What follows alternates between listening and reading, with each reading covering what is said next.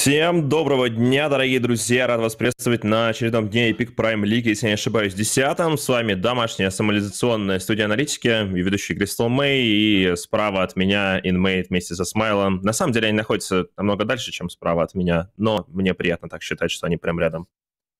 Но я не так и далеко, Мэйч. Протяни руку в окно, я могу ее пожать. Да, неплохой вариант. Серег, здорово. Правда, я тебя не слышу в Дискорде, но не суть важно. Вот, и как, как у тебя там дела?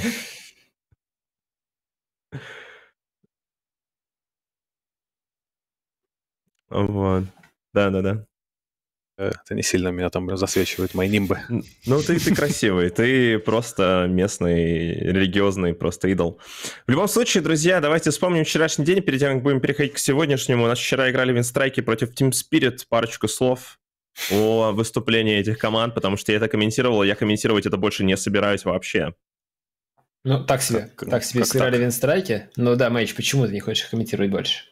Не, ну не, не их вообще, в смысле, я имею в виду, я вчера комментировал эту катку, и сегодня комментировать то, что я комментировал вчера, я не хочу, потому что это было очень плохо. Прям максимально плохо, поэтому я предлагаю сделать это вам. Ну, мы вчера тоже это дело анализировали, не, не, особо, да, хотели, не особо хотели бы анализировать это еще раз, но если в двух словах ради воспоминания вчерашнего дня, накосячили с драфтами, накосячили с первыми выходами, не было никакой вот, э, как сказать, агрессии, что ли, со стороны Минстрайк, то есть отдавали все балансируны mm-hmm. на всех картах, не забирали вышки, пассивно драфтили, странно очень драфтили, рано открывали героев. Ну, в общем, аутдрафт, аутплей и легкие там 50 минут для спиритов.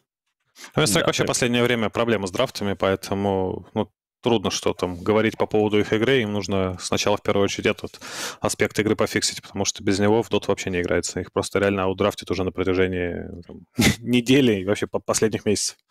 Да, но по их результатам мы, в принципе, ожидаем то, что они э, будут находиться у нас в окончании таблицы. Я напомню то, что у нас седьмое и восьмое место вылетают с турнира, точнее, с лиги, и на следующий сезон они будут представлены в том случае, если там не отыграют релегейшены. Соответственно, пятое и шестое остаются в лиге, но и первое, второе, третье, четвертое место у нас будут находиться в плей-оффе. Можно как раз-таки показать, наверное, табличку для того, чтобы всем было наглядно понятно, что вообще сейчас происходит у нас на Epic Prime League, потому что лиг одновременно проходит очень-очень много, очень легко можно запутаться. У нас, на самом деле, самая такая отличительная история, это то, что у нас находятся здесь все СНГ, только коллективы, ни одного зарубежного коллектива нету. Есть, конечно, игроки отдельные, э, из разных стран, но в основе своей здесь представлены именно СНГ. И в рамках СНГ, понятное дело, что ВП у нас находится на первом месте, Flight to Moon сзади них, дальше у нас VP Prodigy, которые сегодня будут играть, Спириты, Cyber Legacy, Винстрайки, ну и в печальном состоянии находятся бейты вместе с Team Unique, которые могут залутать себе очков. Ну и в случае с бейтами, я думаю, вы все прекрасно знаете то, что у них уже около 10 или даже больше стриком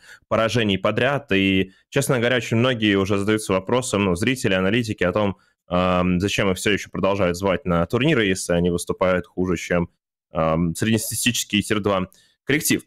Ну а мы отправляемся на сегодняшнюю встречу. У нас Unique против VP Prodigy. Давайте пару слов про VP Prodigy, потому что коллектив вроде как показывает достаточно хороший перформанс и собранность тех людей, за которыми мы наблюдали очень долгое время. Ну, давай так, они сыграли кучу каток уже, на самом деле, с момента подписания объявления состава, и за все время проиграли, грубо говоря, одну серию, это против Virtus.pro на этой же лиге. Все остальное вроде как потащили, где-то уверенно, где-то не совсем уверенно. А, но вот в рамках общей такой картины пока тяжело сказать, что из них получится, потому что надо ждать ланов, которых пока непонятно, когда они еще появятся. Надо ждать каких-то лан-финалов, э, лан-онлайн-финалов, то есть какого-то турнира, где будет представлена вот наша прям вот максимальная тир-1 сцена. То есть, знаешь, что вот были условно там Нави, Virtus.pro, Гамбиты и вот VP Prodigy. И на фоне вот таких каток смотреть, насколько они могут бороться именно с, хотя бы с грандами нашего региона. Потому что пока вот все их катки, это вот в лучшем случае Flight to Moon, которые ну, пока да, да, ни да. шатка, ни валка, ну, вряд ли тянут прям на совсем тир-1. Хоть, хоть и очень сильная команда. Ну вот Virtus.pro Prodigy показывали, насколько они способны бороться с грандами, как раз-таки против своих старших братьев они играли, там у нас в, первый, э, в первом туре, да, этого да, чемпионата. Да, да. 22, и там 23 однокалиточные персонажи. Однокалиточная катка была. Да, да. При этом всем, кстати, замечу то, что стиль все-таки Virtus.pro uh, Prodigy уже теперь похож на то, что мы исповедовали в рамках того же самого франкфуртского ESL уже из старого состава ВП, а, потому что, опять же, очень-очень э, такие же герои, которые были у Эпилептика ранее в начале сезона, они остались теми же самыми. То есть, в общем и целом, на протяжении сезона никуда особо не уходило своего пула героев. И какая бы мета ни была, все равно те же самые ПЛы выезжают здесь на регулярных основах от э, этого игрока и вообще иллюзионисты, которых он обожает. Единственный минус, да, наверное, то, что Урса не вернулась в пул, э, потому что это один из его любимых героев, на которых он считает, что очень-очень сильно шпилит.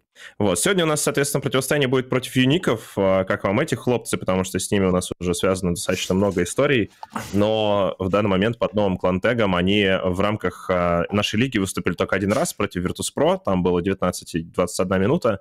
Вот. На других турнирах я, в принципе, думаю, что вы тоже могли их запалить. Да, мы видели, и опять же, не так плохо они играли на том же ESL, э, вышли, не вышли с пятого места, и почти все катки были форматы 2-1 с боем, причем против довольно крепких коллективов.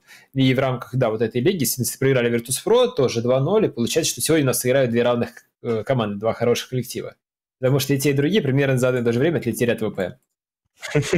Думаешь, что это мерило? У Уников тоже проблемы были вот э, по поводу расстановки лайнов. У них вроде идея на драфте как бы есть, присутствует, но именно как укреплять свои лайны, вот э, тут была в серии именно в, против Virtus.pro огромнейшая проблема у них, поэтому будем смотреть, как они пофиксили как раз эту проблему в этой серии.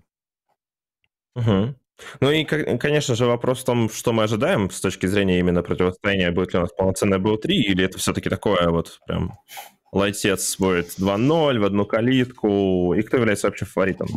Ну, я по последним играм э, этих двух команд, наверное, все-таки ВП я Продиджи поставлю на фаворитов здесь. Да, небольшие, знаешь, как там вот эти любят коэффициенты делать, полтора на два с половиной. Угу. Полтора у нас как раз Продиджи, и два с половиной здесь будут э, ребята из Юник выступать. Ну, это я, наоборот, думаю, что сто процентов будет. И хочу, короче, чтобы было 2-1, и думаю, что будет 2-1, и думаю, что Юники заберут серию приходом четвертого, примерно, знаешь, как, как это, как обновленный новый состав, где еще ничего особо наигранного нет.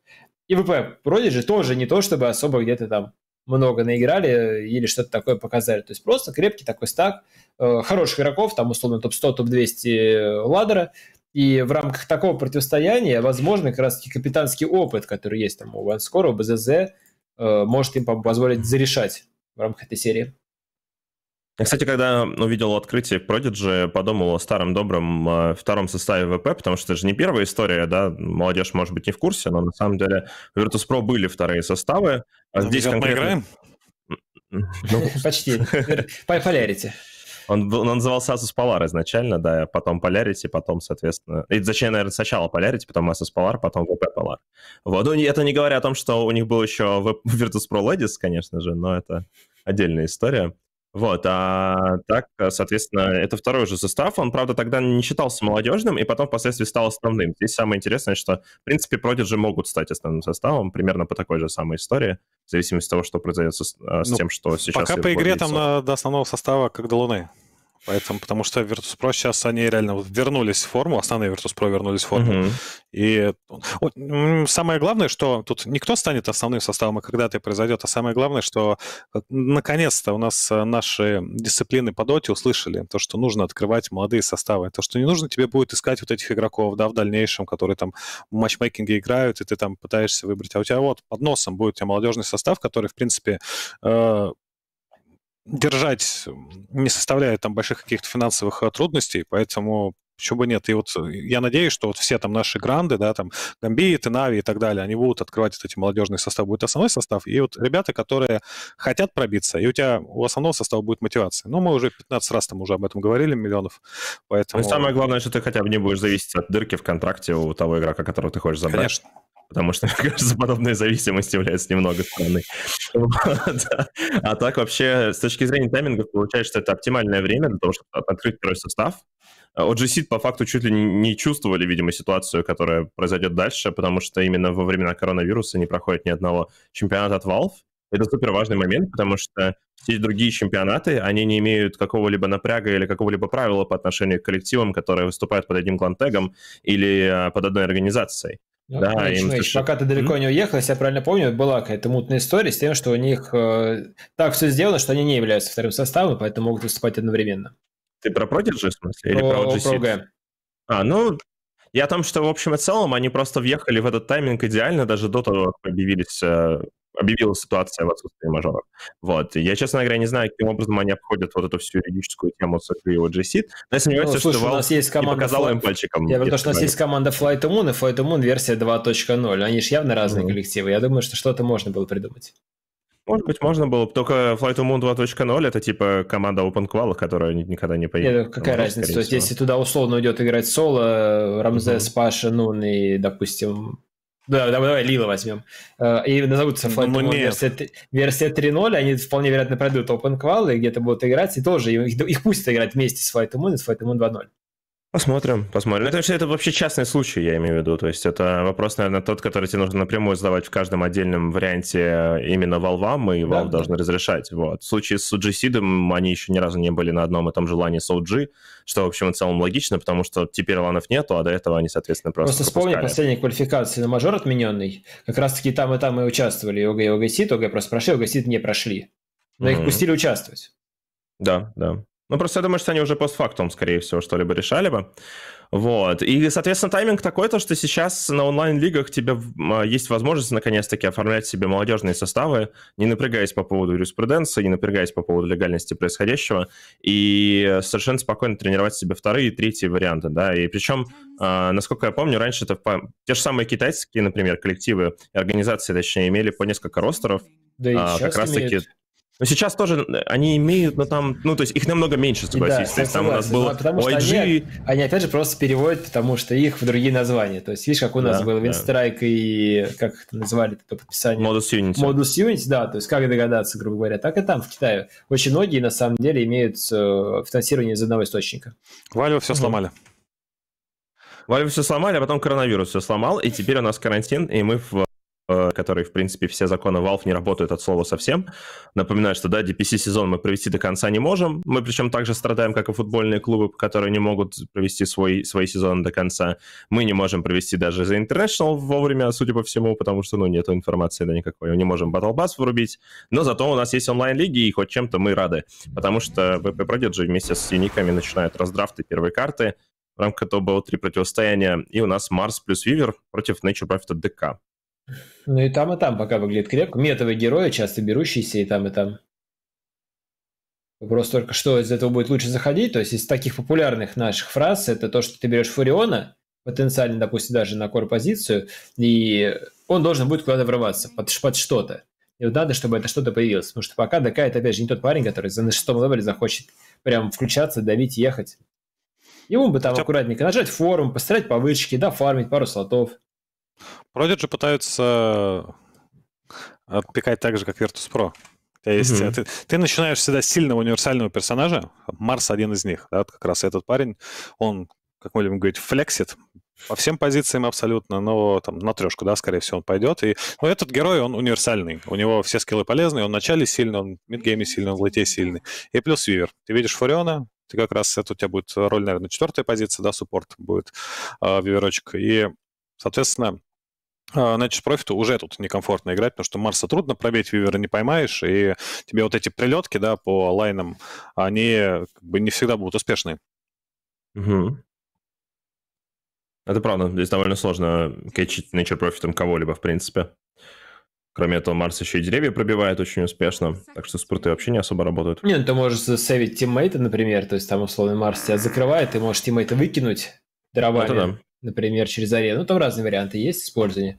То есть, опять же, персонаж круто ломает здание, очень мобильный, позволяет вышки собирать. И вот герой, которого я продвигал сколько уже, не знаю, там неделю-две, Каждый да, раз, но, честно каждый, каждый, каждый раз, когда я увижу, я считаю, что он совершенно ни о чем. Я, я вообще не понимаю, как он может быть хорошим. С новым Ледиктом он не может быть плохим в любом случае.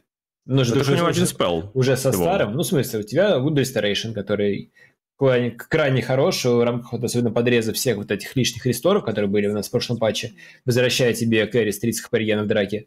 У него крутой молодик, у него крутая палка, у него банк, который прыгает в том числе в инвиз. То есть в правильной позиционке, в правильных руках он может творить просто чудеса. То есть, наверное, ты не можешь позволить себе собрать там аганим и стрелять за 4200, потому что ну, нужны еще другие слоты под это дело будут, но вне аганима он очень хороший персонаж. А тут бабка у нас. Сейчас очень много оффлейнеров сильных приходят, и, ну, зачастую у тебя суппорты такие, которые не могут э, выгнать там четвертую позицию или оффлейнера того же самого, да, там. А вот как раз Вич Доктор — это из тех персонажей, который может гонять. У него как бы много способностей, и, и может взять хил и стоять размениваться с руки. Он может взять Маледикт и просто выгнать персонажа, да, потому что он дэмэджа ему нанесет в разы больше, чем этому же Вич Доктора. Плюс ко всему у него огромная тычка с руки, поэтому этот персонаж, он исторически был очень крут всегда в роли бэбиситера. Окей, okay. смотрим, что тут выберут Prodigy. Ну, тут очень сильная линия получается, если это Макака сейф, или это middle, там все еще флекс есть возможность. Но так и так линия у Prodigy получается довольно сильная. Вивер Марс, неубиваемая практически дабла, соответственно, Вич Доктор, Манки Кинг, если это одна линия, то это тоже очень-очень крепко что бы там Юники сейчас не придумали. Кроме этого, кстати, это снова вот эта бабка, стиль под названием мы не... Ну, то есть мы взяли ее без контроля особого. Не, ну сейчас что-нибудь еще доберут, я думаю, все-таки. Ну, увидим. Третий пик, да, посмотрим. Я про то, что в рамках появившейся МК ты, наверное, очень хочешь ДК поставить теперь на кэрри позицию. Угу. Потому что это будет легкая линия, если придет МК, и подраться с ним можно будет. А если он приходит в легкую или в сложную, МК его хантит и стоит потом free. И ДК ничего не имеет, и МК имеет очень много, это плохо, потому что у тебя арена Марс, у тебя арена Манки Кинга, там просто не выжить. Какая логика? Ты двигаешь ДК на первую позицию, соответственно, у тебя автоматически Марс, который приходит туда на третью позицию, он уже хорошо фармит, потому что ДК, ну, ничего не делает оффлейнеру на э, своем лайне. Какой бы там mm-hmm. суппорт ни пришел, ДК он просто бесполезный. Он очень толстый, его очень трудно пробить, но он просто стоит и фармит там. Из позитива у тебя зато свободный саппорт, который может уйти это, от ДК. Это первый момент, а второй момент это в том, что в рамках такого дела у тебя сетап либо Марс фармит, либо МК фармит. И я бы лучше бы дал Марс фармить, чем МК.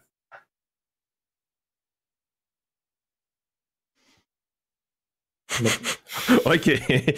Серега решил нам не отвечать. Нет, так не, да. Он думает, что мы просто тут делаем вид, что мы тут умные. Мне кажется, у меня камера просто съедает светом. Не, тебя кушает, это точно. Я просто расплываюсь так скоро. Я просто уйду в белую точку. На самом деле, еще, еще грима подмаз немножко, я, знаешь, я, я не знаю, чего это отсвечивает просто. Как бы здесь, ну, в комнате не особо так светло. И почему это светит? Диван, может, бликует так. Ладно. Ну, зато ты еще в белой футболочке, чтобы сливаться со всем этим делом, и прям Конечно. идеально работает. Причем до этого, я насколько помню, ты был всегда в черных. Тем временем у нас бан Веномансера, бан Кунки от Prodigy и Юников. Соответственно, сейчас а, будут а, ласпикать у нас Prodigy. Да, я только сейчас понял, что появившийся Руби говорит нам, что Фурион точно керри. Угу. В рамках того, что перед этим появился МК, я бы как раз Фуриона делал саппортом, поэтому первое, я думаю, что за Prodigy будет. Потому что да, здесь, по-моему, здесь скорее Фурион вообще типа useless будет. Ну, подожди, у них остался этот мидл, который они могут сейчас взять при желании, да, то есть это, видимо, тройка Фурион или тройка ДК, там единица, ну, неважно, они между друг другом распределятся, скорее всего, на мидл сейчас пойдет последний герой, это может быть какой-то, о, это Некрич. В принципе, на соло это вообще Звучит, конечно, интерес, да, ну смотри, вот я бы как сделал, да, условный Марс оффлейн, МК условно легкая, да, добираем там mm-hmm. ВД Вивер 2 саппорта, и просто герой против Некрофса, закрывающего в центр. И все, ты выиграешь три линии, у тебя есть чем ломать здание, у тебя есть чем драться, mm-hmm. у тебя есть все, что надо для победы. Снайпер, да, какой-нибудь? Снайпер? Хускар. Хускар.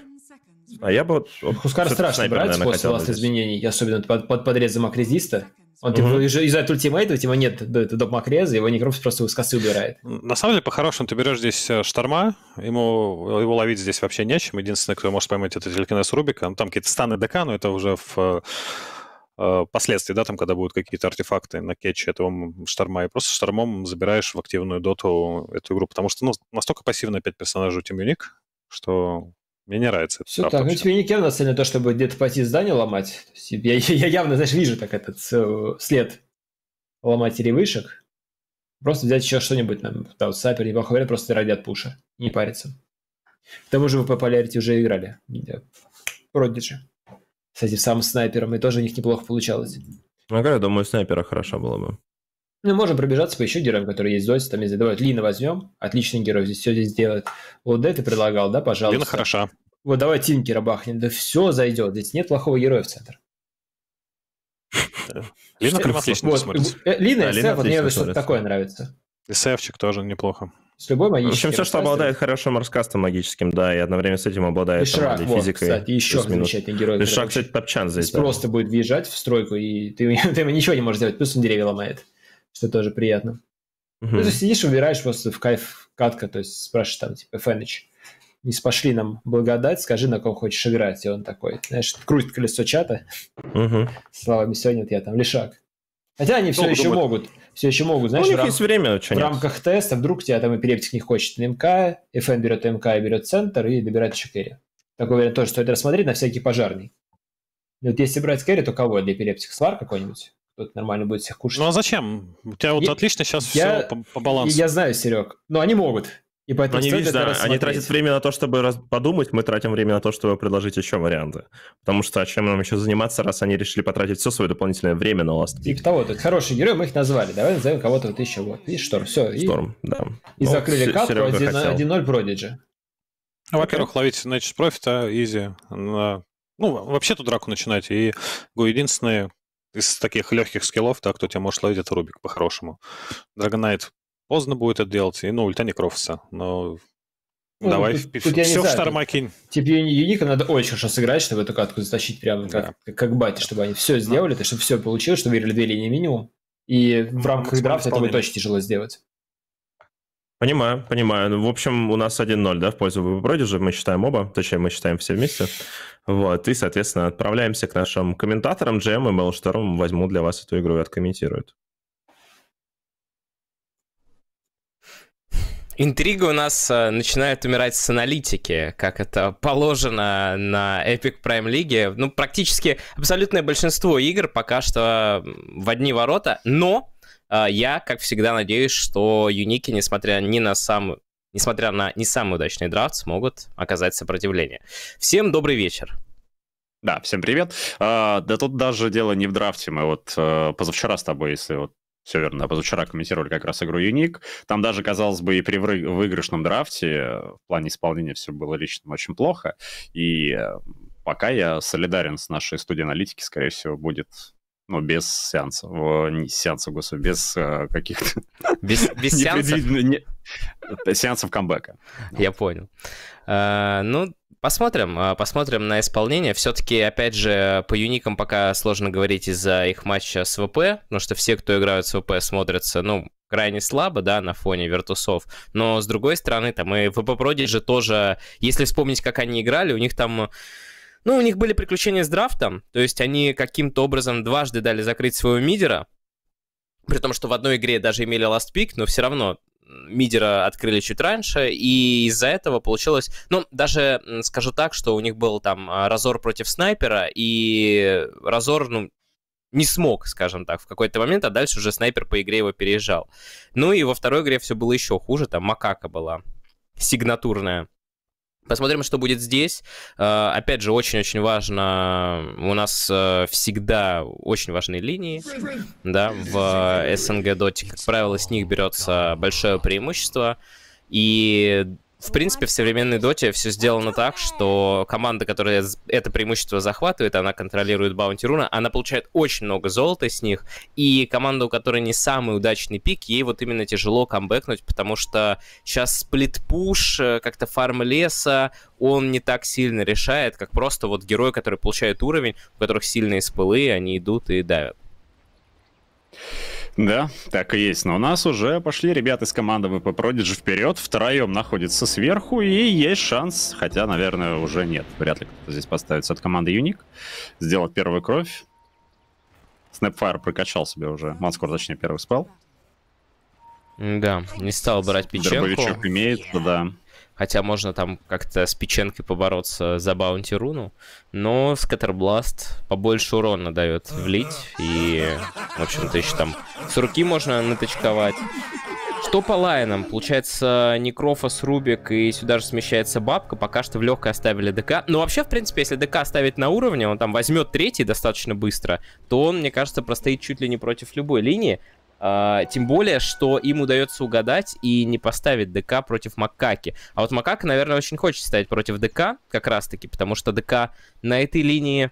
Ну, наверное, это одна из немногих линий, которую ДК не потянет, потому что Милишник против Джингу Мастере работать будет плохо. В то же время Некрофос с радостью должен постоять против Макаки. Это правда, но у нас свапы продолжаются. Мы видим, что вылетает наверх уже Snapfire. В миде тут пока что без каких-либо сенсаций, я так понимаю, да? Будет шторм против э, Фуриона. Крайне метовый персонаж сейчас именно центральным. Многие команды предпочитают брать. распробовали его в последнее время. Вот. А снизу Манки Кинг, как ты говорил, ну а наверх у нас отправляется Вивер. Как раз тот самый саппорт, тоже о котором была речь. Против них будет стоять здесь все-таки Зитрекс на Драгонайте. И интересно, какая у него раскачка. Просто смотрю, так неплохо пробивают здесь. Да, раскачка очень интересная. Тем временем коэффициент от нашего партнера GGBet Unique 4.23. Довольно большой коэффициент уже вот со старта на Unique. VP Prodigy здесь явные фавориты. Ну, в целом у них действительно Броня, кстати, у Зитра. Да, через броню начал, но все равно даже не, несмотря на это пробивают в начале. Всячески мешает фармить.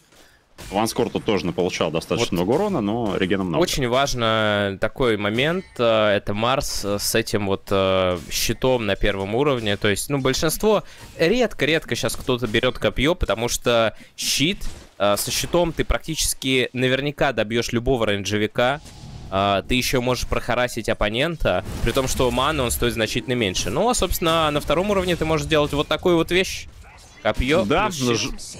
жуки плюс сверху висели, урона очень много. Но копье, наверное, разве что в начале берут, если уж прямо только под первую кровь какую-то. Да. Ты выходишь командой, то да. Либо так, либо, а допустим, так... какой-то Гримстроук э, на Баунти Руну вышел, и тебе ну, нужно да, э, героя да. с Инксвеллом от себя оттолкнуть. Ситуативно, ну, конечно, все равно это вот как вот телекинез на Рубике брать.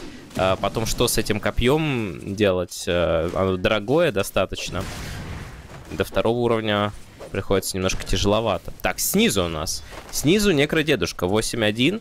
Ну, глав... гна... главное правило некродедушки это, конечно же, добивать крипов и регениться со своей пассивки. А, это немного ну, тяжело. Но пока вроде бы справляется. Пока БЗЗ, он все, все время фуловый, реген у него прилично, и мы видим, что эпилептик фласочку вынужден тратить на себя, чтобы отрегениться. Неплохо. Здесь ему помогает еще Рубик. Всячески пытается Вич Доктор тоже как-то Рубик этого отогнать. Но вот очередной Деспуль залетает. Да, у Некрофоса ну. очень большие проблемы с добиванием, потому что у него такая тычка, медленно летит снаряд, и урона мало, и топорик ему не взять, потому что он рейнджевик, но вот он там возьмет какой-то нуль талисман, пару уровней, плюс можно добивать, опять же, рейнджевиков с Деспульса, и и все нормализируется. Эпилептик пожалел Банл Страйк на, ранжеве, на ранжевика, в итоге из-за этого Илюжин его задинайл прям под носом Манки Кинга. Ну вот тут, да, тут как бы не хочется и давать так, чтобы линию Пром... пушить, ну... Второго уже крипа пропустил, и этого не ну, добил. этого, есть, этого Эйна добивает каской. Но... Так, а сейчас... Все равно достаточно. Кстати, еще четвертый удар, и вот сейчас бы Бандла Страйк, ну под Маледикт нужно, нужно кидать. Хм. Хм, странно, почему не кинул. Да. Я почему-то тоже думал, что залетит как раз-таки Boundless Rack, но в итоге отпускает а, у... Ударил. Ударил... Э... Это сверхстранно. Ну, я, ну, а... не поздновато ли ударил? Ой, а вот нет. сейчас могут забрать, лол. Это нормально. Ну, справедливость восторжествовала. Ну, дело в том, что под Маледикт, чем раньше ты зальешь урон, тем больше он урона этого даст впоследствии, потому что, ну, он работает э, со временем, и каждый следующий тик делает тебе только больнее. Но э, под конец давать смысла особого нет. С другой стороны, неважно, забрали, потому что Некро что-то там вернулся. Я бы сказал, что жадная раскачка не взял Ghost Shroud, но не будешь ты на втором левеле брать Ghost Shroud, ты хочешь взять все-таки пассивку и хоть как-то регениться. На миде тем временем профит с огромным количеством динаев, но я думаю, что это, эти динаи могут быть, это его же пеньки. Скорее всего, есть. Так, ну это нормальная практика для фурионов последнего времени, что ты динаешь своих пенечков, лишая оппонента дополнительного подфарма. Но линию-то он проигрывает. Угу. 27 на 18, довольно хорошо все у Шторма. К тому же мы понимаем, что Шторм взял шестой, полетел и может убить профита или там каких-то суппортов. А профиту немножко в этом плане сложнее. Тем временем у нас минус курьер и, возможно, да, минус фанскор. Ванскор тут бьется до конца. Есть Шикучи, конечно, но Сейф решил не бежать под тавер. Ванскор, наверное, либо стики, либо Фэри Фаер, что-то такое ну, да, есть. да, да. В любом э, случае пожил бы какое-то время. Внизу очередное нападение на БЗЗ. БЗЗ под Меледиктом. Бадмон Страйк в этот раз залетает. Ванскор все-таки забрали наверху. Здесь делается фраг на БЗЗ. И сейчас проблема у Илюжина. Илюжина нужно бежать, потому что Эпилептик все еще под действием пассивочки находился. Сбить БТП. Но, видимо, нечем. Каски в кулдауне. Ну, я так скажу, что линия нижняя выносится просто в салат. Сверху мы видим, что бабка ничего не может сделать. Для нее не самый приятный такой лайнап. Вивер постоянно может выбегать из э, дробовика, даже если по нему попали, не получать урон. Макака шикарный старт. У Марса старт еще лучше.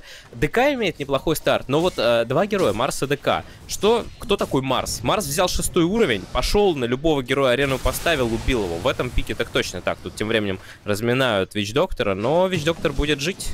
Да, летел вроде как Фурион, отменяет в итоге телепортацию свою.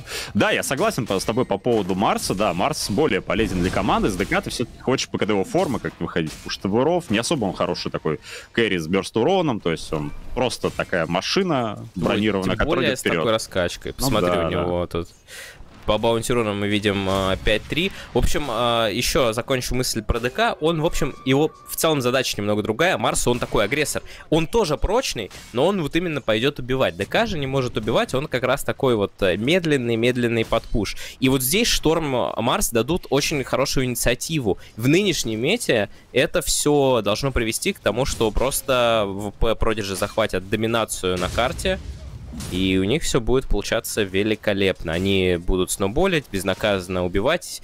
Э, шансы за счет некровса и профита какие-то отбиваться. Но здесь такой момент, что профит хорош э, в дополнении с кем-то и на таком сноуболе, а Некрофос, ну даже если он там будет с косы кого-то убивать, у него на косу огромнейший кулдаун. Там кулдаун 140, что ли, секунд. При том, что не сказать, что спел какой-то мега ультимативный.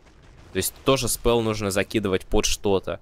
Короче, пока легкие проблемки вырисовываются, и непонятно, как из них будут выходить. Да, Кстати, ну и- интересно, будет ли кто-то весел делать у VP Prodigy? Да, стоило бы, только вот вопрос, кто? Ну, я бы сказал, что может попробовать Вич Доктор сделать.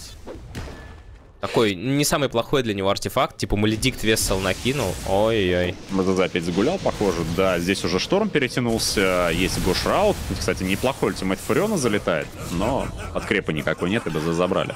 Нет шестого, опять же, несмотря на то, что залетел в Ghost Shroud Boundless Strike, это никак не повлияло, слишком много урона, всего хватает. И вот Шторм, он просто прилетел, он помог сделать фраг, и вот он уже обратно возвращается на мид. Профит дал ультимейт, но теперь этого ультимейта нет. Опять же, возьмите ВП, как они играют. Как только появляется шестой уровень на профите, идет ультимейт, и кто-то где-то умирает. То есть максимально важно реализовать ультимейт сразу же, потому что он максимально эффективен. Да, руна у нас появляется наверху, сейв забирает там регенерацию себе и возвращается. А, или нет? А, вот кто будет делать весел.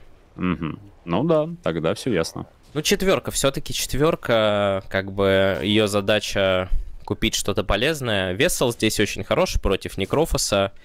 Напомню, что теперь это аура снижения регена. Ну и вот коэффициент 0 у нас уже на девятой минуте. А вот она пошла Арена Марса. Щит, чтобы было легче дать копье, каски.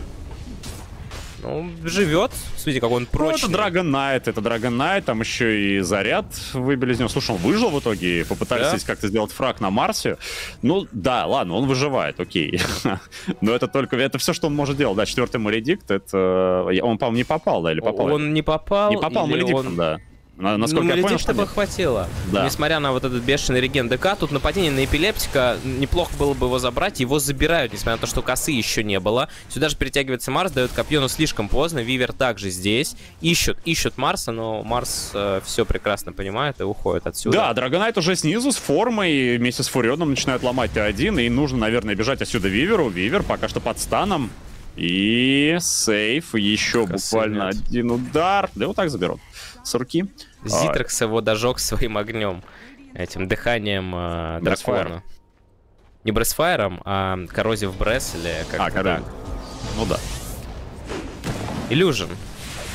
Ну, вообще, у меня вопрос, конечно, к Эйне. Надо попадать Маледиктом, особенно когда Я, цель находится я так в арене. понимаю, там немножко получилось иначе. Там сначала э, кида- кидался Маледикт, а после уже Мар закидывал копье, и получилось так, что он цель увез из-под Маледикта до того, Ну, как понятно. успели Ну, накинуть. Да. Немножко э, Да. мисплея.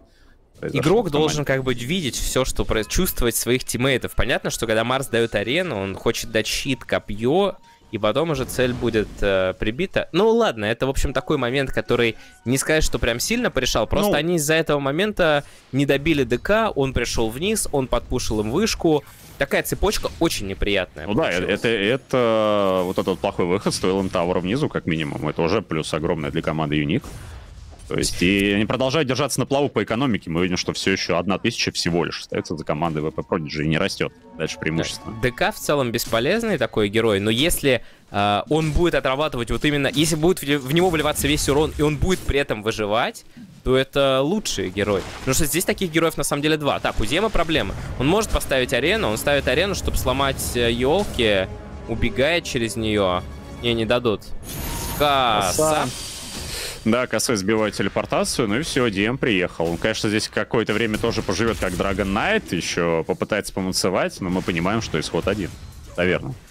Он ничего не может сделать против магии Некрофоса, его щит не работает, его пассивка. Ну и три героя вообще в целом. ТП уже сбит, то есть никуда он не денется. Ну и вот, пожалуйста, как бы коэффициент 0, но не стоит торопиться. Мы видим, Вич Доктор берет себе топорик, ну, понятно, для чего это делается. Для того, чтобы хоть как-то спасаться из э, спрутов. Тем временем нейтралы зарабатывают 79 золота. За курьера. Это да. Блэдмейл появляется для Фуриона. Окей. Ну Вот Ярослав мне говорил, что очень много интовику дает и достаточно дешево стоит. Я напомню, что сейчас вот этот Бродсворд, ну, может быть, не сейчас, я, честно говоря, уже потерял момент, когда, но когда-то он стоил 1200, а сейчас он стоит 1000. И Там в сумме 2000 по- в целом получается артефакт, он достаточно дешевый. дешевый, при этом, Да. опять же, вот э, против Макаки нажал, и что-то она уже не хочет с тебя Boundless Strike давать, Weaver что-то бить не хочет. Единственное, Вич Доктору пофиг с его Десвардом, потому что Death Ward считается как обособленный юнит, и тот урон, который он наносит, не идет обратно Вич Доктору, но все равно Blade Mail хорош. Поймали Ван скоро. Касочки полетели, Маликдит тоже. Летит Шторм сюда и вчетвером в итоге одолели одного Ванскора. Окей, в любом случае, нетворсы продолжают расти у команды VP Prodigy. Уже 2000 они ведут. В целом, игра кажется под их контролем. Кстати говоря, э, бабка может перепрыгнуть арену Марса печенкой. Ну, это такой... Если вдруг где-то кого-то закроют и не успеет Марс дать копье, можно попробовать будет э, скомбинировать. А в будущем, я так понимаю, если ДК возьмет Аганим, он должен, по идее... Вот я не уверен, э, работает это или нет, но он же ходит через э, эти текстуры с Аганимом. Должен. У него же Идея- там получается. Да, передвижение... Как это? Флай, флай, флай передвижение? Да, ну, может быть, его и перебросят. Но до этого пока еще далеко. Здесь тем временем нашли Найнтина, и И он не ушел. успевают подцепить. Да, в это время цепляют наверху с э, косы эпилептика. Это еще один отличнейший просто фраг для команды Юник. Причем как вышло круто. Они увидели, где находится оппонент. Оппонент там еще часть ресурсов потратил. Ну, профит он же должен был видеть, да? Он же... А сейчас они вообще на аванпосте должны видеть. Мгм. Но это не мешает курьера отдать. Так, Шторм уходит отсюда. Просто тут мимо пробегал Илюжин, я так понимаю, с ворованными шикучами. Судя по всему. Ну и дальше драки никакой не получилось. Ну да, пока юники держатся неплохо. Knight продолжает фармить. У него скоро... А, ему уже летит Shadow Blade. И уже под Shadow Blade можно будет выходить кого-то и цеплять. Как вариант. Пока в соло-таргет работают юники хорошо. Да, интересно. И раскачка такая у него без таланта. Ну, видимо, потому что... Так, сейчас я скиллпоинты посчитаю. Не, он, по-моему, не успевал. И. Рубик здесь перетянулся, Knight со станом, и Snapfire начинает настреливать, очень быстро стирают у нас э, Шторм, Шторм Спирита, еще заберут и Вич Доктора. Вот о чем и говорилось. Вич Доктор горит. Вич Доктор горит. Сюда бы одну еще плюшку какую-нибудь скинуть. Не успевает Зитрекс в итоге. Курьер поплатился. Нормально, там жизнью. в курьере чтобы, все да, состояние Вич-доктор Вич-доктора лежало. А, добивает все равно Illusion. У него, видимо... Да, у него шикучи ворованные. Шикучи, да. И еще и Киллстрик забрали, да, это не так много, как раньше. Но вот сейчас очень круто получилось, воспользовались ошибкой оппонента и подпушили, и забрали. И юники просто красавцы. Причем все так быстро закинули. Weaver. Странно, ответная попытка да. нападения на Зитракса, по-моему, это вообще прохладная история. Сейф очень аккуратно нужно быть, потому что он там остался на low хп, вынужден тратить сразу ультимейт, чтобы вернуть свой хп обратно. Но вообще изначально было непонятно, чем вы собираетесь цеплять этого ДК. У Марса нет арены, Monkey King вообще был в таверне, единственный вариант это Шторм, но Шторм вылетает практически на full ману, поймали одного только Ванскора. Ну, Ванскора вы, наверное, заберете, да. Ванскор это нормальная цель, но вот на ДК врываться, ну, это, по-моему, совсем плохая история когда у вас нет хорошего контроля в наличии. Очень, конечно, момент. тяжело Виверу было среагировать, потому что ну, запущен ультимейт профита, ты его можешь и не услышать, и не увидеть, и он просто прилетит откуда-то. Меня немножко удивило его решение нажать ультимейт, учитывая, что у него есть лопата, и он постоянно копает фласки, у него две фласки. Мог бы фласочками захилиться, отступить. Так, Илюжен. Шикуче. Десвард. Илюшин Ну а тут ответное нападение опять на Шторм Спирит, опять арена от Марса. Шторма косой накрывает, Шторм погибает. В любом случае, отличный уже размен для юников. А, еще одна арена от Манки Кинга. Ванскору больно, Ванскор не убегает из этой арены, убегает в таверну. Танкует пока что Диэм. Но Диэма, скорее всего, сейчас тоже отправит в таверну. Или же нет. Касочки полетели, кстати, неплохие. Прохладная история, конечно, Диэма с этим щитом была. Но, кстати, мог погибнуть, чуть-чуть не хватило. Там uh, у кого-то гроубол, судя Сейф. по тому, как uh, Марс светится. И луком его разминали. Деспульса могли добить. Но опять отличный размен, пока вышли на Илюжина, в этот момент нападение на И сейчас нападение а Эпилеп как самое лучшее место нашел пофармить, я так понимаю. А, почему не было не отступить на свою половину, когда команды вообще рядом нет, и в итоге он сейчас за это может поплатить своей жизнью. Великолепные! Филигранные спруты, отлично. Белиссимо! Но, в принципе, если так будет продолжаться, я думаю, а, ВП Prodigy только рады будут. Да. Да уж. Там еще и вард по центрю прям поставили. Ну, что-то как-то то густо, то пусто. Но все равно, конечно, выправили ситуацию знатно, потому что казалось, ну, могло все быть гораздо хуже. Но как-то вот с этим Марсом, с Макакой не смогли разогнать свой сноубол со штормом. Несколько было прям откровенно супер неудачных моментов, прям где не повезло. Ну, например, когда шторм летит уже в профита и должен его вот э, затягивать, но в этот момент профит делает ТП прям секунда в секунду и умирает Манки Кинг сверху за счет этого. Ну, МК в любом случае нужно как можно быстрее выфармливать БКБ, потому что пока БКБ не появится, он будет умирать вот так вот быстро. Так же, как и Шторм, в принципе. Но Шторму попроще, потому что он более мобилен. А вот МК... Хотя он тоже мобильный, но просто проблема в том, что ему реально нужно драться и бить с руки в драке, да. Шторм там больше летает как-то замеса. Но и мы видим, что коса, как только имеется наличие, уник, это значит, что какого-то скоров они выключают в любой драке. И очень быстро. Философский камень еще достается yes. юником. При игре mm-hmm. с низким темпом, конечно, коса уже совершенно другие краски обретает.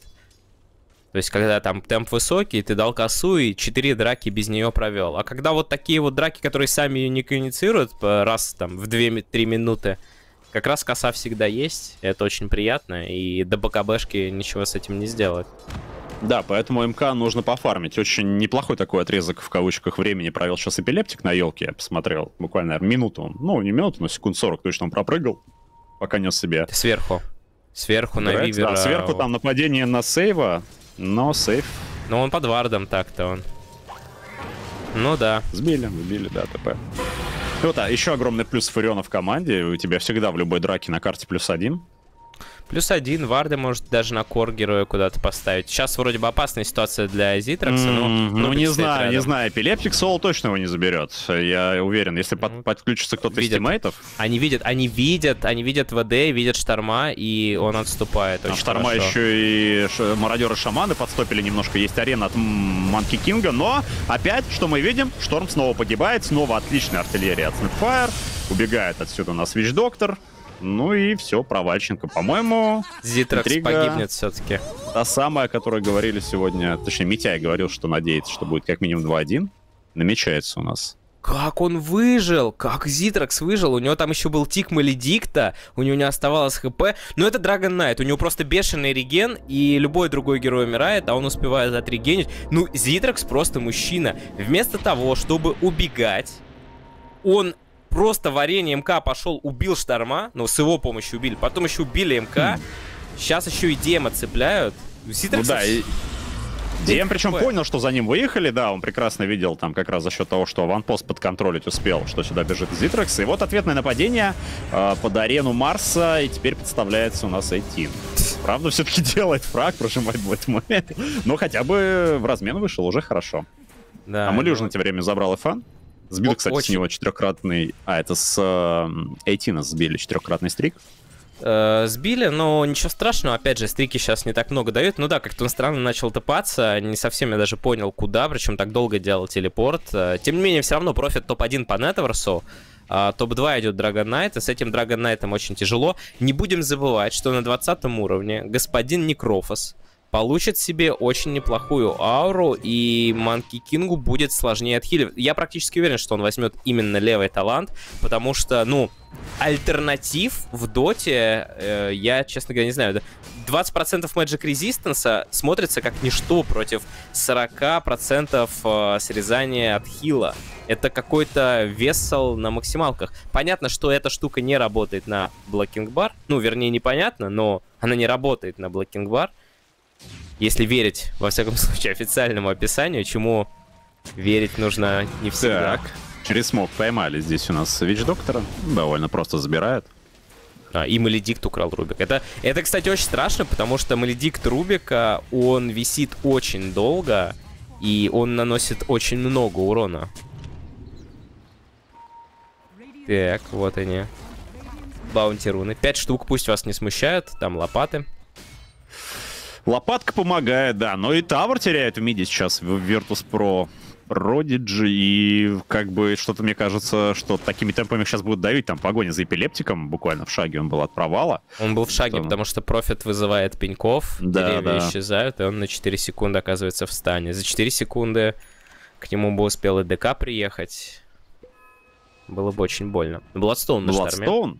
Это, конечно, замечательно, но вот мы позавчера видели шторма идеального, да, практически от Пикачу у нас, который там приумножал эти заряды, а вот э, наверное, дня 4 назад как раз э, я комментировал Китай, там шторм был, который растерялся да. заряды за игру. Там вчера вот. у нас был тоже не самый удачный шторм, так что... Поэтому нужно и сейчас исполнять. Ну вот смог. Хорошая атака, может быть, на БЗЗ. Нашли его фармящим лес, пошла арена, втроем попытается забрать, успевает прожать Ghost Shroud, но урона хватает, да. чтобы оформить фраг. Не самый удачный Ghost Shroud, потому что он только получал дополнительного урона и не успел mm. ничего прожать. Нашли Зитракса. Ну, его просто бить не хотят. Это Зитракс, его отпускают. Слишком плотный Dragon Knight. Ну, можно подпушить топ немножко. Попробовать Т2 сломать. Правда, с другой стороны, здесь уже внизу работает вовсю Фурион, которого тоже нужно как-то отогнать от тауэров. И сюда с этой целью, так, направ... так понимаю, направляется Марс. Сейчас щитом все зафармил. Отлично. Шторм летит на Ванскора. Ванскор прыгает, не попадает печенькой и погибает. Это слишком много врагов. И тут, и там. Ну вот два заряда есть. Неплохие выходы. Вообще, да? с БКБшками на Макаке, на Марсе, на Шторме пик у Продиджа станет так более опасным на какое-то время. До появления там... Ну, наверное, пока БКБ не станут а, пятисекундными. Но до этого момента хотелось бы юником вставить так сказать, внести свою лепту в игру и получить какое-то преимущество. Ну, арену Марса вот уже откатила. Замечательный спел. Да, это не какая-нибудь коса тебе. Так, ну и БКБшки. БКБшки ждем также и для команды Unix. Спрятался пока что Фарион. А, аккуратно хочет сплит-пушить. Да, мы видим, что уже перемещается вроде как вниз. Нет, Он боится. ТП. Он боится, что да. там кто-то есть. Он должен увидеть сначала, что там никого нет. Да, вот он видит. Марс у нас максимально прочный себе билд взял. Сила плюс броня такой, ну, 8 броней это реально много, на самом деле. Больше только у профита, по-моему, у него десятка дается. Так и есть. Ну и успокоилась пока что игра со стороны команды Юник. Теперь как-то ВП больше играет первым номером, но их можно понять. Там Бладстоун, нужно выигрывать драки, нужно реализовывать арены блинки. У нас сейф загулял, что-то между Т2 и Т3 его поймали. Ну, разведчик, разведчик, охотник на курьеров какой-то у нас был. В итоге его схватили и наказали. Здесь... Да, не жалеют косу, причем потому что долго не получается ее реализовать, и, в общем-то, правильно, правильно берут. Тем временем Эйна развардил, сидит, знает, что его здесь не видно, рядом с ним Ди. Чего-то они тут ждут. Ну, это... возможно, ждут команду Юник. Вот сейчас Ванскор забирает аванпост, должны прекрасно это знать Virtus.pro. БКБшечка на ДК. Да, вот теперь реально проблема. БКБ у МК пока еще не имеется ну, в наличии. Скоро, вот прям чуть-чуть ну, да. осталось. Вот она арена. Профита не хотят бить, он там прожал Mail, хороший Boundless Strike, и в профит выживает. Есть захил, в итоге погибает с... Witch Doctor. Witch Doctor? Witch Doctor, да, забрали его. Ну, вообще, профит, э, да, здесь э, выживал. Э, я так на всякий случай скажу, что БКБ ему не помог бы против Maledict, потому что урон проходит сквозь у Maledict а, это довольно жестко, но отлично работают Грейвзы, Некрофос и Фонтан которые дают отхил и все. В итоге профит выполняет тоже свою функцию. Такой вот пик, и ДК уже так быстро не убить, и профита, и Некрофоса. Но, наверное, если кого-то убивать первым, то Некрофос хочется больше остальных. Профит на развороте сейчас попробует подцепить Шторма, и Шторм успевает уйти, на Да и деле. пробивать профит э, даже с учетом Десварда да, достаточно сложно, потому что армора у него достаточно много. Тут у нас миди ответное нападение от команды Юник. Хороший ультимейт от Ванскора. Заберу... Нет, сейф успевает. Успевает прожать Time Lapse и вернуть себе хпшечку. Чуть-чуть, чуть-чуть mm-hmm. не забрали сейва. Ну, такая интересная атака. Телескоп для шторма. Да, действительно, брони очень много и у ДК, и у Профита. У одного так что би- бить Десвартом это совсем плохая затея. То есть там видно было, что урон очень мало залетает по нему. То есть у него 15 плюс 16. А больше нечем. Больше Вич-доктору нечем. Если он Десвардом не может нанести урон, то это прям катастрофа для Вич-доктора. Ну и вот он, Dragon Knight с Титан с ливером. Очень прочный, очень мощный. Что интересно будет делать дальше? Я вот вижу перчатку у него. Или это просто перчатка такая? На фарм казуальная? Сигнатурная? Посмотрим. Телескоп. Пока не, пока не ясно, телескоп хорошая вещь. Рубик какой-нибудь, я думаю, будет доволен. Он да, из одного компа забирать. все нейтральные шмотки решил выбить, походу. А, телескоп для Рубика, Квивер для профита. Я думаю, что именно для профита этот арт лучше всего подойдет здесь. Ну и, собственно, вышку забирают. Да, вышку забирают. В это правда Virtus.pro там вроде как забирают Рошана. Неизвестно, что там по скорости, как насколько быстро Рошан падает. Но вроде как и не успевает сюда уже юники. Никак. Хотя, на самом деле, очень медленно бьют, очень медленно бьют. Если бы вот прям сразу перетягивались, то могли бы успеть. К сожалению, не успевают вот буквально чуть-чуть. И вот Рошан погибает. Вот у нас бы был бы идеальный тайминг ворваться, врываться на эпилептика. Эпилептик прожал БКБ, поставил арену, но также БКБ прожимает у нас и Фурион. И мы видим, что даже эпилептик не может Фуриона пробить. А, арена Марса не будет, арена Рубика, арена Рубика тоже очень жесткая. Нет, Рубика все-таки выгоняют из арены, Марс выкупается. Марс сделал байбек, вернется обратно, выбили Аегис. Э, можно попробовать второй раз сейчас забрать у нас Шторма, и очень быстро забирает Шторма. Но что-то, по-моему, поплыли Virtus.pro сейчас, и даже, несмотря на то, что было у них Аегис в наличии, вообще драку проиграли в салат. Танковал очень хорошо Фреон. Ну и Марс после байбека, вот это очень неприятно. Рубик преследует здесь по пятам его, но нет, Марс все-таки уходит. Зитрекс хотел тоже поймать. Uh, ну что сказать, очень агрессивно забирали Рошана, не успели юники к Рошану, но зато они успели вот на то самое состояние, когда соперник только-только забрал Рошана, еще не успел занять позицию и не готов драться. И очень хорошо подрались. А, Профит со своей броней, с Блэдмейлом, он просто залетел в арену. Да, и... да, наж нажал БКБшку, и все, и видно, что даже МК просто не может нанести того количества урона, которое необходимо. Абсолютно а, а пик такой у команды Юник, что если как только вы проигрываете, точнее, вы выигрываете драку, вы сразу же идете и ломаете строение. Вот уже забрали Т2, забрали Т3, это очень много денег. Тут еще и сейвы под контролем. Есть стан, есть арена Дема, он пытается помочь. Сейв сгорает за счет ультимейта Ванскора. И арена от Марса в пустоту. Все. Никого в ответочку не забрали. Да, вот так вот, пожалуйста. И теряют тир-3, теряют одного героя еще преимущество становится еще больше. Арены сейчас нет, да, быстро откатит. Monkey King пытается сделать Radiance. Передумал. Делает Desolator, чтобы хоть как-то справляться с этой броней. Но я вообще могу только посочувствовать э, Макаке, потому что ей нужна такая тонна урона на этих коров. Одного ты не можешь бить, потому что у него астрал, и двух других не можешь бить, потому что у них там брони у одного десятка, у другого даже страшно. Я не помню, сколько, если честно, ДК. 15 плюс 16, ты имеешь в виду Фуриона, которого последний раз я видел? 16 плюс 16. 16 плюс 16, да. да. И у Драгонайта есть пассивка.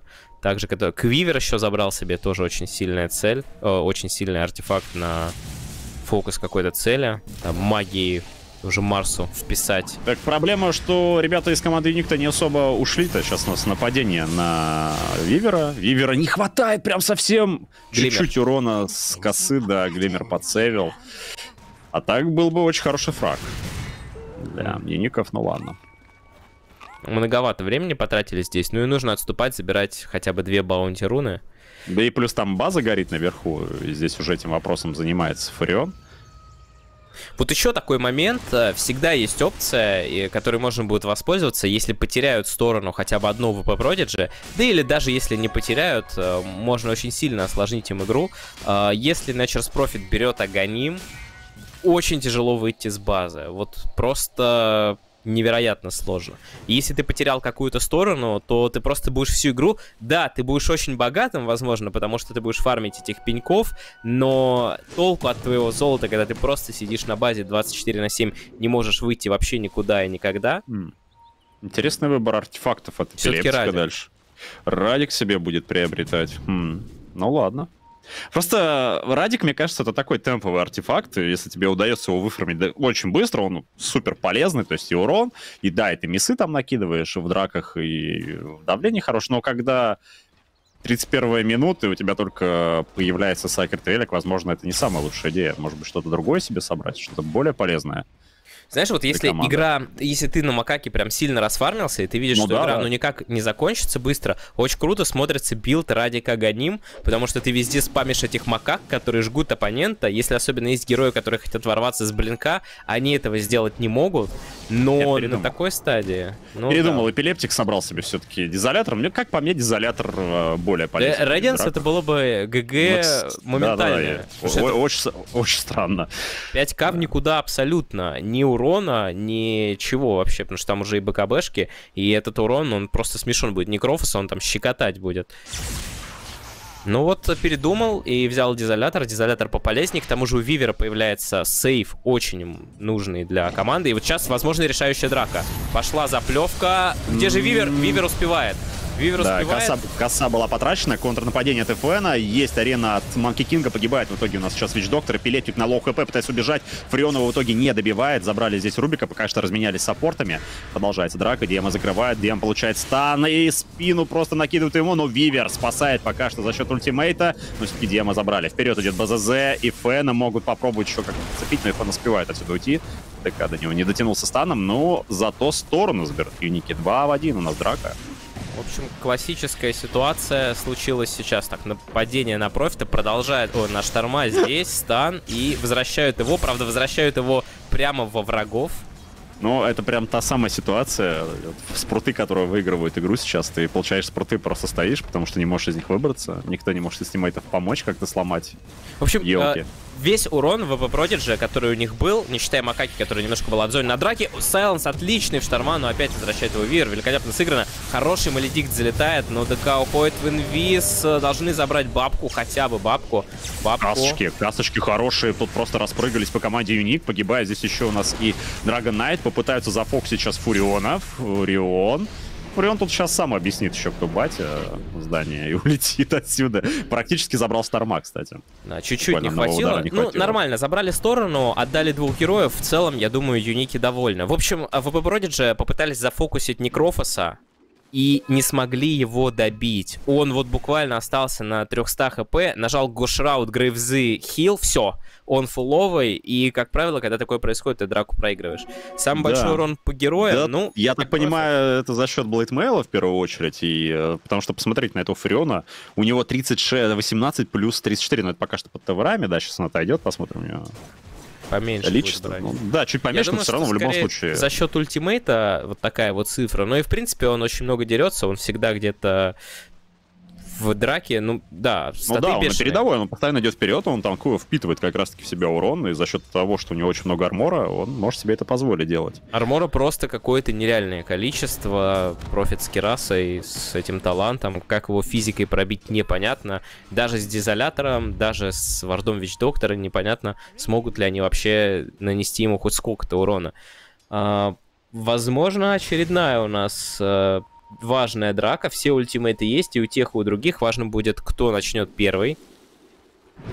МК пока что там по елочкам прыгает, пытается дать вижен своей команде. Юники отступают на базу, прекрасно понимают, что на карте никого нет. И нужно быть аккуратней, скорее всего, там смог. Но и никого ВП не находит. Увидели сейчас ФН снизу. И из базы выходит у нас Юники, разбив перед этим смог. Но, правда, ВП тоже уже отступили на свою половину. Но шансы того, что кого-то найдут, все еще есть, потому что эпилептик задержался в лесу, и сейчас уже заходят юники и могут его за это наказать. Нет, эпилептик уже на линии. Никого юники, скорее всего, здесь уже и не подцепят. Ну ладно. Там основной таймер сейчас заканчивается, и мы узнаем, через сколько появится следующий Рошан. Да, ну, две, Две минуты. минуты. Достаточно долгий. Немножко успокоилась игра. Но опять, вот э, без стороны сейчас против профита играть значительно тяжелее будет. И это хорошо еще мид. Мид так, достаточно приятно отпушивать. FN в инвизе. Зитрекс в инвизе. У FN и гем, поэтому он все видит. Кажется, его спалили. По-моему, да. Ну, он тоже... По-моему, о, да. Фэн! Ну, у тебя же гем. Ты же видел Зитрекса? О, вот он, видимо, куда-то посмотрел. Что какая-то наигрубейшая ошибка сейчас от Шторма. Не проще ли было просто улететь? Ты понимал, что здесь один, как бы у тебя была фулмана, здесь еще продолжается давление, но нечем тут сбить телепортацию. Фуриону. Доп подхил от бабки. Еще 250 хп, которые будут не лишние. И заходят по центральной линии, после этого переместятся вниз. Но сейчас идеально выбить какой-то байбек бы, Да. по-хорошему. Если Шторм умрет после Мгм. этого байбека, он не появится в игре очень долго. Да так я думаю, что игра закончится. Если сейчас Шторма убьет после байбека какой-нибудь, да, вот как раз арена пошла от Марса, что он летит в драку, пытаются зафоксить у нас э, ДК, это удается сделать, ДК погибает, БКБшку прожимает э, Фурион, ему сбивают телепортацию, так понимаю, Башером, да, Манки Кинга, судя по всему. Да, Да, Башер да, уже и есть. Быстро он его нафармил, надо сказать. Да, неплохо, неплохо. Бушрок сейчас реально зарешал, и это минус два кора у Юник. Это отличные два фрага для Продиджи, получается, ВП. Заработали плюс денежек себе, это позволяет им выйти наконец-то с базы, попробовать что-то сломать, возможно, Юником. Либо же Рошана. Рошан, правда, еще не появился. ДД снизу, снизу лежит, тоже никто не контролит. Явно было бы не лишним. Просто решают нужно- выйти в контратаку. В идеале бы сейчас еще сделать какой-то фраг, чтобы уж точно окупить э, байбек на штамм Спирите. Ну, никто Шторм не должен наверху. подставляться. Просто должны аккуратно сейчас отыграть юники, дождаться. И потом уже, после того, как э, выйдет Dragon Knight и Nature's Prophet, сами заходить на Рошана. Как раз таки вот сейчас ВП ломают вышку. Ага, курьер. Чей курьер? Судя по всему, Radiant. Ну, видимо, да. Видимо, да-да, Radiant и заходит на Рошан. Рошан теперь под дизолятором гораздо быстрее упадет. Он жуков сверху накидывает также. И не успевают вроде бы как Не на этого. Рошана Юник. Да, они только сейчас выходят с базы. Фурион все еще в таверне. Фурион сам себе покупает башер. Воу. А вот она, та самая, тот самый талант на э, э, регенерацию. Аркейн Руна. Аркейн Руна. Аркейн Руна забирает себе Шторм Спирит. В Естественно. бутылочку. Самый лучший герой для этого. Да, вот сейчас, конечно, очень такая шаткая ситуация. Вроде бы юники и сломали сторону, но мы понимаем, что последние две драки им пришлось очень тяжело. Abyssal Blade вообще планируется. Ну. Нужно Вот это как-то, нужно как-то работать по Black King Bar ам оппонента, то есть чтобы оппонент не мог нажать Black King Bar и просто уйти. Тебе приходится покупать даже на рейнджевике Abyssal Да, что Шторм, ой, господи, Фурион превращается в какого-то, знаешь, это, в melee, melee range ДД. Угадай закуп называется. Вот Да, просто да, да. посмотрите на закуп, да, вы сможете Закро- угадать, закройте героя, героя скиллы, да, и угадайте, в какого героя вот такой закуп. Трудно представить. Так вот, что это Фурион. Да, так и есть. Так, ну что, пока Эгис есть, нужно как-то попробовать, возможно, через смачок выйти, кого-то подцепить. Правда, вижу не так много на территории команды Юника, у команды Virtus.pro Prodigy. Но вот они разбили все-таки смог. За счет Манки Кинга попытаются, возможно, кого-то увидеть, подцепить. А, нам намекает обсервер, что они на варде, да, разбили? Что курица летит через вард, как Ага. минимум. И такие вещи любая команда, которая сидит на базе и смотрит на миникарту, она сконтролит и сразу все поймет. Такая ниндзя-курица беспалевная. На самом деле, эти курицы, они начали своим командам приносить уже беды, ну, где-то года 4, а может быть даже лет 5 назад. И это до сих пор продолжается. До сих пор продолжают вот так вот вести себе что-то в смог через всю карту, через все варды. Это, да, конечно... придет, Придется сейчас на базу возвращаться в ВП. Там огромная просто толпа крипов по нижней линии заходит. И тавра-то нет, и нужно это все отпушивать. Да, Вивер да, вернулся. Нужно будет перетягиваться.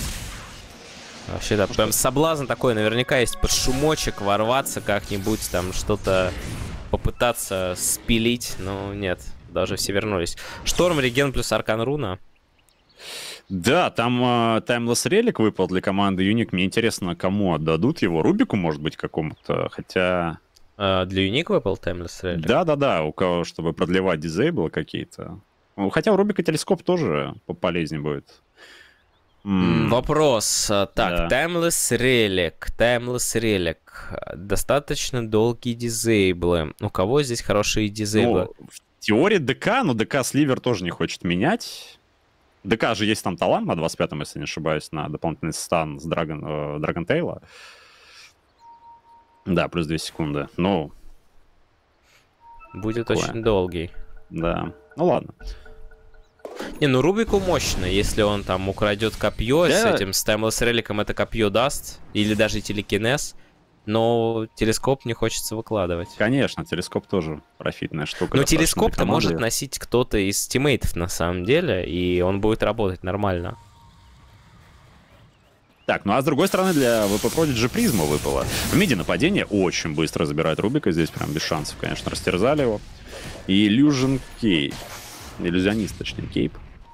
Нет хорошего героя для Illusionist's ну, да. Можно отдать там и Профиту, и ДК, и кому угодно, но скорее такой. Вообще артефакт, который всегда стоит носить в любой ситуации, вот так вот просто там отправлять какие-то иллюзии куда-то, разводить, это всегда напрягает, это создает, так сказать, дополнительную какой-то сумбур, ну и перекладывать там обратно какой-то более полезный артефакт. Минотавр Хорн для Dragon Knight, я думаю. Вот теперь он да, ну вот, вот она вот. самая иллюзия, о чем ты говорил, буквально происходит, да, и прям шикарно здесь все получилось, выманили арену Марса. Кулдаун очень маленький, но вообще-то говоря, стоит... Э, должны игроки вот так вот прокликивать, прежде чем напасть. Вы видите, что Некрофос в какой-то такой позиции очень странной, и если бы на него кликнул Марс, увидел там иллюзионист Кейп, он бы все сразу понял. Да, да и элементарно просто, что у вас вот так вот в наглую идет Некрофос, один заходит на хайграунд без каких... И учитывая, что у вас Аегис, как минимум, чтобы до этого дали два хороших файта. Ой, ну, профит. Совсем странная история. Но там БКБ. КБ, а КБ, да, нет возможности и... сквозь БКБшку как-то сбить. И тем не менее, Марс сможет себе это позволить, потому что действительно кулдаун на арену для такой стадии игры уже настолько мал, что ты, а... в принципе, ее тратишь, и вот она уже откатила у него практически. Не успел обратить внимание, кому призму отдали ВП в своей команде. Она же им выпадала, и никому, я понял. Ну ладно, ладно. Это вдвойне странно, потому что сейф носит charm с собой. Насколько я понимаю, призма да, является призм, улучшенной призма версией да, Charm а. Да, да, и странно, что они не забирают себе. Я почему-то думал, что ему отдадут, да. Flicker там лежит, я смотрю. Flicker он выбил просто. Нет, ну фликер, нет, это понятно, да, но почему не берут э, призму, это вопрос. Ну ладно. А, есть э, хороший, знаешь, этот вопрос э, для команд Virtus.pro. А подобрали ли они ее с земли? Ага, этот вопрос. Давай посмотрим. Ну, ага. А, -а, -а. Прочитано. Ну, все понятно тогда, все понятно. Ну да, Видимо, да. если есть э, в теге Virtus.pro, то артефакты, они где-то теряются. Но, кстати говоря, если эту призму это, кстати, забрал это, кстати, оппонент... это, второй, это второй раз, это второй раз э, именно в исполнении эпилептика и сейва, это еще когда они играли в а, ну да. основном составе, они как раз, помнишь, не забирали да. там по два, по три артефакта подряд из леса. Это уже не первая да. ситуация. Это именно Такая. вот... Э, ну, Резоль еще такое вытворял. Но именно это вот с эпилептиком и сейвом такая штука была. И вот сейчас э, такой у меня важный вопрос. Э, это где-то лежит или это забрал оппонент? А, это, что... а это мы можем посмотреть по вещам оппонента на самом деле, если кто-то... а, а вот она. Ну вот и она, собственно. Ну, Вообще понятно. я бы отдал эту штуку некродедушке, наверное, и он бы с ней получил удовольствие очень много. Я ну, думаю, да. Но некоторые дедушка пока что иллюзиями там развлекает ребят из команды Virtus.pro. Вроде как успешно, но как минимум один раз уже. В принципе, как, так же, как и ВП сами иллюзиями тоже развлекают, потому что у них этот артефакт из леса тоже имеется. Так, ну и что? Дело идет к третьему Рошану. Если сейчас через смог не удастся кого-то здесь подцепить, ребятам из команды Юник, а это может произойти, потому что врывается Illusion. Сейф, но тут контр-врыв от Диема. Хорошая арена, кстати, сюда врывается также под БКБшечку и Фэн. И арена пошла от Эпилептика. Эпилептик фоксит пока что там э, Фуриона, и в этот раз урона хватает. Фуриону очень больно. Его забирают, на 100 секунд отправляют в таверну. Бандлы Страйк еще залетает по Ванскору. Ванскор не успевает запрыгнуть с печеньки, потому что перехватили Вортексом в полете. И он тоже отправляется в таверну. Драка не заканчивается. То есть погонь еще за БЗЗ. Профит выкупается, летит обратно. Марса забрали, 120 секунд. Тут же байбек. 19 вернулся. Очень-очень неплохо раздает, но кажется, могут его после байбека отправить в таверну. Да, так и есть. И будет его 125 секунд, фанскора также не будет. Пытается убежать отсюда БЗЗ, копьем не попадают, в итоге сжигают Вивера, но это не важно, потому что Некровса также добивают. И еще один байбек использует. Вивер хорошо отыграл в последний моменте, там вовремя заставил своим ультимейтом тиммейта, э, своим ультимейтом своего тиммейта, да. Вот. Дважды, а, по-моему, причем. Да, да, да. Нет, почему? Один, один раз был. Один, один раз? раз? Был. Да, вот в последнем моменте как раз-таки, когда там был full фокус, не хватило урона. И хорошая драка для команды Virtus.pro. Проигрывает его Юник, э, эту драку. И теперь за это могут сейчас лишиться стороны, возможно. Два байбека было потрачено от э, ВП, если я не ошибаюсь, и нужно их как-то окупать. Шторм летит. Ну, вообще, они знают, что у профита нет байбека. Ну, что он байбекался прям в драке. И он так еще бодро, резво залетел в арену Манки Кинга сначала. Кстати говоря, он долго жил. Его бил Десвард, его бил Манки Кинг в арене. И все равно он там чуть Вич-доктора да. не, не ушатал. Впитал он очень хорошо, да. И падает Т3, и, видимо, центральная линия сейчас тоже полностью упадет у команды Юник. Забирают. Так, мид на мид теперь. Ждем профита, еще 46 секунд. Мид на мид, э, если заберут еще и Т3 наверху, то, в принципе, ситуация уравнивается по строениям, точнее, по их отсутствию. Я думаю, да, заберут в сторону. Ну, 36 секунд даже арену потратил Эпилептик, чтобы просто отзонить, я так понимаю, Юник. Показать им намерение команды Virtus.pro вроде же, что они очень хотят сейчас забрать сторону. Да, барак забрали, можно отступать. Там таймер уже 20 секунд. Разбили смог на отступление. Окей, ждем появления следующего Рошана. Там можно еще баунти кстати, контролить. Что явно было бы на ВП не лишним. Так, надо подумать, что не так происходило для Юник в последних драках. Ну вот им очень сильно мешают две арены. Одна Манки Кинга, другая Марса. То есть одна зонит одну часть команды. У Манки Кинга она уже очень большая, из нее сложно выбраться профиту.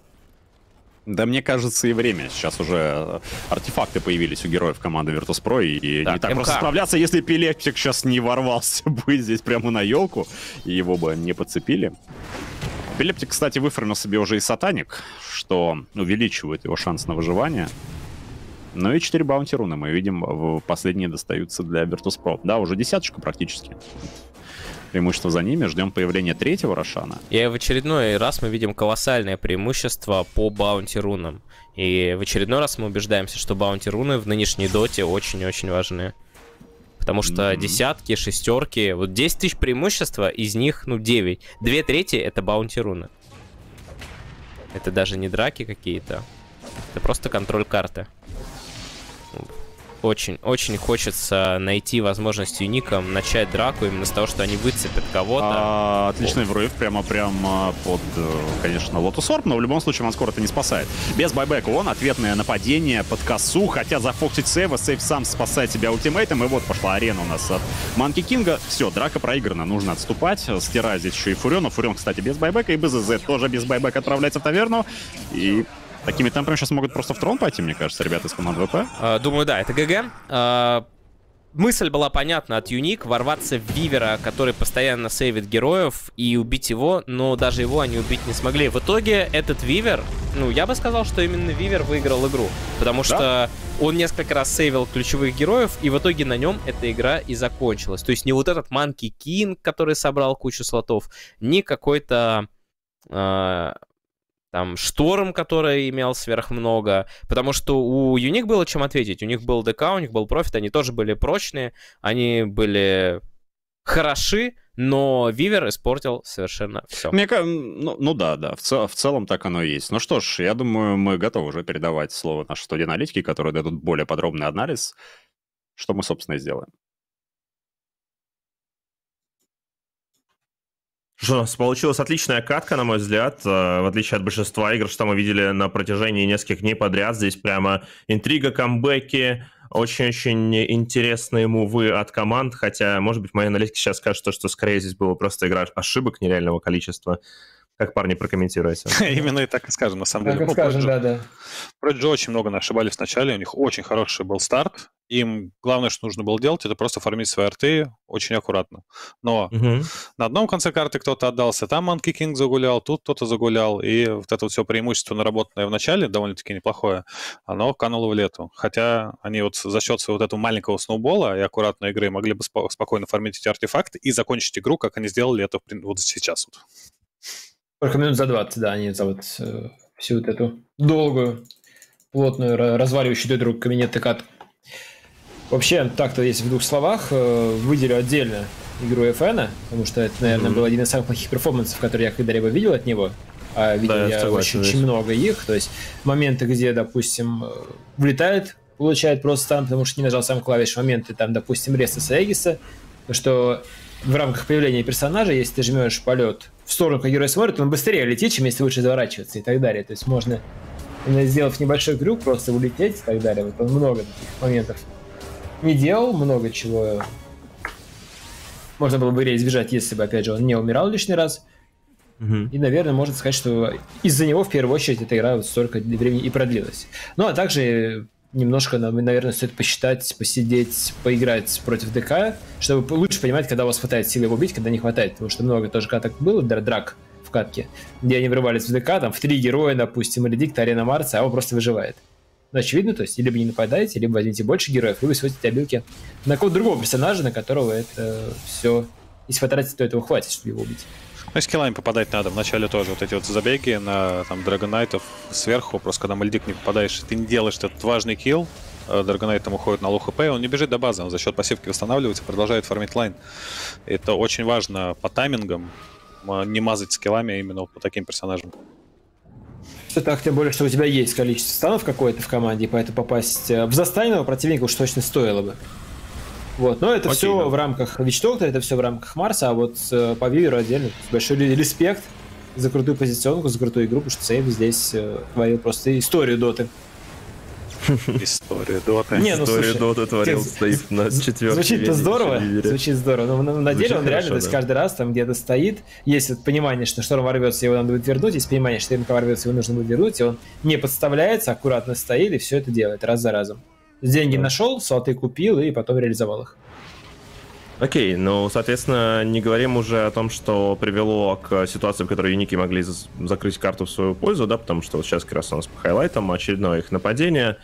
Эм, там они потом, если я не ошибаюсь, еще шторма прикончат да, через да, несколько минут, и ему придется байбекаться. И да, да, все да. будет норм, да, здесь им опять же выпал из арены. Довольно интересно это получилось. И вот вопрос, почему, имея 6к перевеса, юники не смогли реализовать ну, у них подобный не, не, не шанс? просто драфт под это дело. То есть смотри, при равных слотах, даже там с перевесом в 1000, Шторм, э, точнее так, э, Фурион послабее будет, чем куча других кор персонажей. Вот это первая проблема.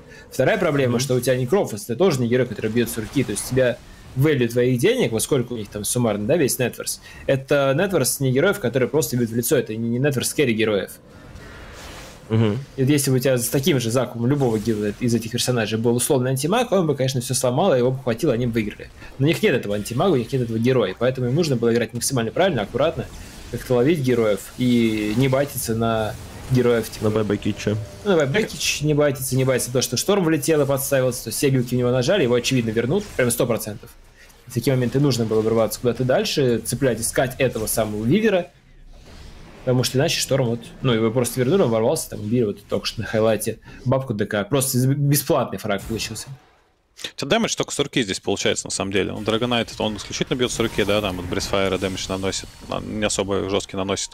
Значит, Prophet за счет ультимейта, да, ну, какой-то damage наносит, но это в начале нормально заходит, а когда там что левел получаешь и сносишь всем бешеное количество хп. К мидгейму уже этот damage ну, не так велик. И считаю, у тебя Nature's Prophet бьет с руки, у тебя ДК бьет с руки. Э, единственный, кто там нормальный раскаст может дать, это вот Рубик, да, если что-то сворует полезное, и э, Snapfire ультимейтом своим. Все. У тебя больше ничего такого нет. Ультимейт э, Некрофоса, он там один раз слетает по та же цели, если ты там пытаешься фокуснуть. Поэтому тебя там еще за счет скиллов переигрывали в драках. Очень круто. Да, и видишь, еще и проблема в том, что довольно много было таргет урона, когда МК уже подходил в толпу вместе со штормом. Из-за этого за, за время БКБ как бы чуваки успевали сделать достаточно урона, чтобы снять какого-то кэри. И в рамках этого БКБ мне нужно было в таком случае искать бабку, что-то на нее силы там тратить, Рубика, потому что их обилки в БКБ вообще никак не работают. И ты просто нажмешь свою обилку, вырываешься, убиваешь условного ДК, убиваешь условно, не знаю, там Некрофос или Фуриона, любого из них. И э, что может в это время сделать Ван Скор? Стоит, плюет, 0 урона, кидаешь там печеньку, теряешь позиционку, потом не можешь плюнуть. То есть не хватило каких-то слотов типа Force Staff ов, Ethereal Blade ов, возможно, там, Glimmer ов лишних, чтобы просто драку можно было как-то подрастянуть. Ну, а потом Monkey King 25-го левела, ну, это, да, это, ну, и, соответственно, это очевидная имба. постоянно. Weaver со штормом и две арены. Когда они есть, уже поздно что-то делать. Это правда. Три арены. Три арены, да. Еще трубика сверху. Не особо осмысленная, правда, не особо нужная, но хоть что-то дает. вообще так, конечно, 25-го левела арена уже по факту... Ну, она реально страшная, потому что у тебя же и слоты у МК тоже лишние появляются со временем когда-то. И арена становится все сильнее и сильнее.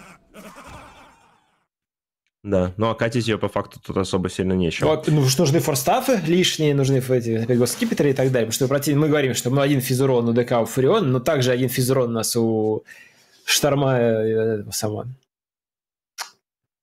Монки Кинга и Марса, то есть они тоже не особо магии бьют, и можно было пробовать с ними разбираться, но решили, что попробовать запушить, не получилось, хотя шансы все в Продиджи им дали, которые нужно было взять. В позиционке mm-hmm. трудно держаться, очень трудно, потому что у тебя эти две арены, и плюс ко всему ты пытаешься из них еще выбегать, в них не драться, а тебе еще плюс ко всему нужно фокусить героя, который находится под таймлапсом, под фокусом от таймлапса. Ну также, конечно, если даже посмотреть на стату, которую нам показывают сейчас Айгисы, да, то есть Продиджи регулярно были первыми на Рошане, юники по факту за них либо драться не могли, либо дрались плохо. Если бы у Ников хотя бы был один Аегис, я думаю, что они на этом ДК, условно, Аегисном или там БЗЗ, на Некраче взял бы и просто можно было бы донести в момент, когда там байбек условно фэна был, да, потраченный. Если бы он убивал бы Саега Челика, он сразу же приснулся бы обратно фуловым и смог бы помочь ну, да, это один из ключевых моментов тоже в этой игре. Угу. Тем временем, а, друзья, напомню, что вы можете присоединиться к обсуждению матча на dota2.ru slash gg. А, ссылочка вот сейчас находится снизу трансляции. Вот. А также можете стать участником нашего эфира и попасть на рубрику Ruhab at Home. Надо, соответственно, с хэштегом Ruhab at Home выложить в сторис а, в инстаграмчик и отметить еще наш аккаунт собака Dota2 Ruhab. Вот. И таким образом самые интересные истории поводят на наш эфир как раз-таки во время паузы, на которую мы сейчас и отправимся в ожидании второй карты противостояния Prodigy против Юник.